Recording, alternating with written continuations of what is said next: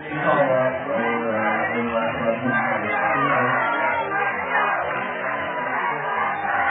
my favorite drummer, Incredible Hall, is cheering for the stage.